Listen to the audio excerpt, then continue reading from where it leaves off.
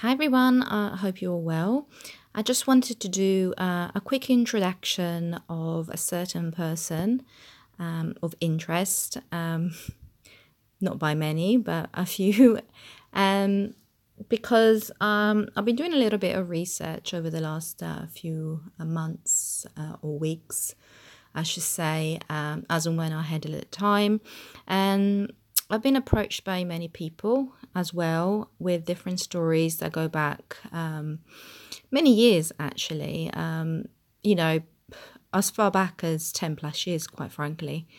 Um, and what I find interesting is that when I collate um, all of the information given and I cross reference them, there is the same pattern that's been going on for years. And even though the story might change, um, there is definitely a certain pattern that happens um, before this individual asks for donations. And it's funny because it's something that I myself and a few others have come up with recently.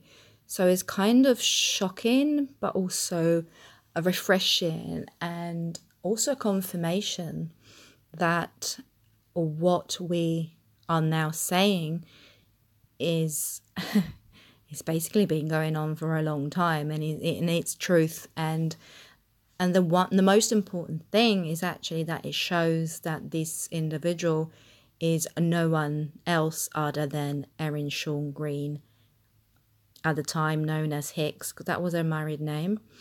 Um, so yeah, is um, hmm, interesting. So I have written a little introduction of this person uh, as part of my forum, um, so we can all warn people, um, you know, not to get scammed, basically, not to be hurt. That is the most important thing for us, to be honest. Um, you know, especially if you are somebody that is um, fragile that needs real support, guidance, and help, um, this is the last person you want to uh, go to. And we have seen too many people, too many people being hurt that um, we just had enough. We cannot stand for this anymore. So, uh, yeah, here we go. Who is Erin Green Hicks? Well, as we all recently discovered, a liar and scam artist. But let's go back and give some background for those who do not know her.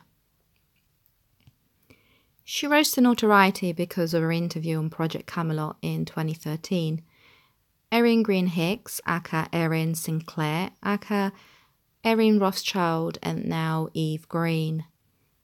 She made many outlandish claims with no real evidence regarding being many things, including but not limited to a Rothschild daughter, a hybrid MK Ultra alien who is from a parallel universe, a time traveler, a perpetual gang stalked whistleblower, an archangel, a MK Ultra monarch super soldier, Archangel Michael, then the carrier of Archangel Michael's spirit, the Lady of Twelve Stars, Mary Magdalene, Mother Mary, the female Jesus, now Eve from the Bible.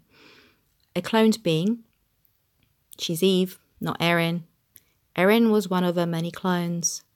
Eve was kept in a hidden stasis chamber by the Illuminati. The list goes on. She did a few interviews with Kerry Cassidy, Miles Johnson, and others. You can find them on YouTube.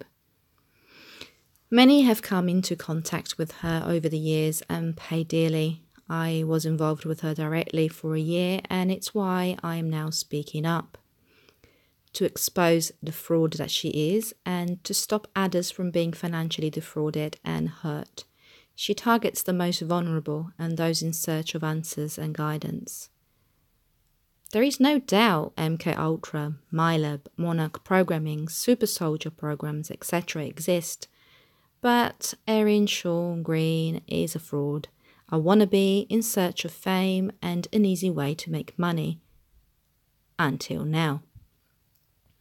She constantly hounds her social media friends for donations to support her.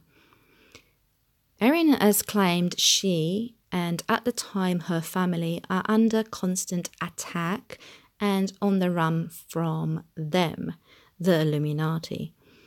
She eventually reinvented herself and joined forces with her now wife, real name Dawn Pollock, aka Livend Vanderbilt, aka Lucifer, aka Baphomet, aka God.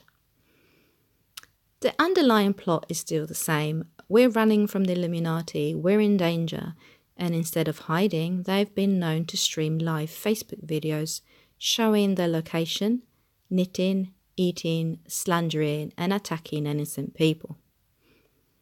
I guess they are not in danger after all, only of having no money or being able to live off someone's hard earned money or even living under their roof. They both claim to be love and light and to live and forgive all. Well, only until you post or say something that is contrary to them or their agenda. They're both being a loose cannon and have serious control issues. For many years, Erin personally bullied her own social media friends and threatened them with removing anyone who does not agree with her. She controls um, their friends' connections and suspects everyone. When money gets low, she makes up another fantasy story, now with the help of her wife. She was married to a man and has five children, which she now refuted, as she's Eve, not Erin, remember? So used them before as excuses. These are the ones I've been told of. Johnny was almost run off the road today by a black SUV. Oh my god, my daughter found this mysterious package on our porch. It's a child sized two shoes. It's the Illuminati sending us a message. They don't want me talking. The following message would be We're out of dog food, bottled water, toilet paper, and food. Please send donations to our PayPal. Nothing has changed, I see. She still uses the same pattern now. I've been told of how she would publicly humiliate Johnny and tell people of how he wouldn't show her affection, and then publicly admit several times she has cheated on him throughout their entire marriage. She's temporarily nice to those who currently uh, donating. Once you stop, she ignores you completely and even starts attacking you. We've all seen her blatantly rude and nasty to people who have done nothing to deserve it, including myself and others in my circle. She uh, removes people off her social media and disposes of good people every day for childish, mundane, trivial things like simply not agreeing with her narrative.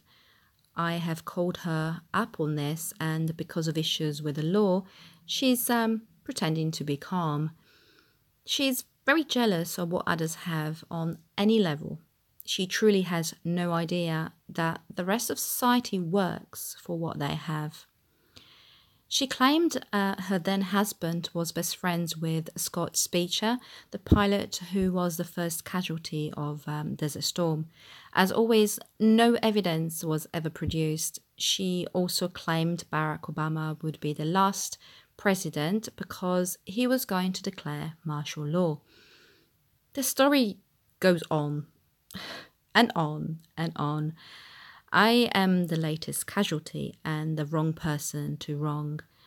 I was really close to them and know the truth, and I will expose them so they will never fall, hurt, or take money away from people who truly need every penny they get. It's time to stop her and a trail of lies, slander, and distraction.